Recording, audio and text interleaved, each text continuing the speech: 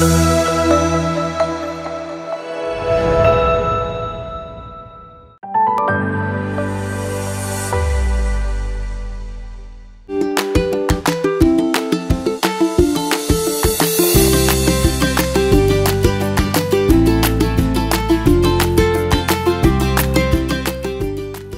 Children participated in the painting workshops organized with the collaboration of Association for Solidarity with Asylum Seekers and Migrants and Ankara Tandoğan Rotary Club Association.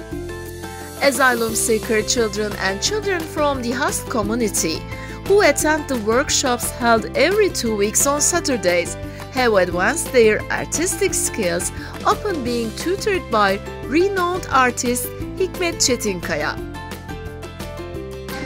Çocuklarımız ilk geldiği zaman The children were a little uh, timid and shy when they first came here.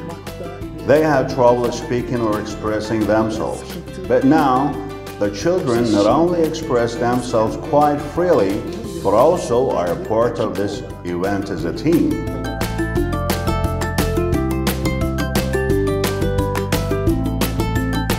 They have achieved significant progress compared to their first time in our workshop. Those who had never held a brush or painted a picture before the workshop are able to paint now. In addition to painting, they express themselves with colors and paints.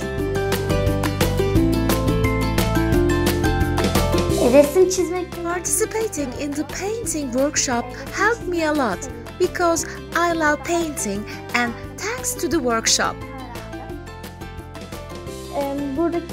I am very pleased with my tutors here, especially our tutor Hikmet paints very nice pictures.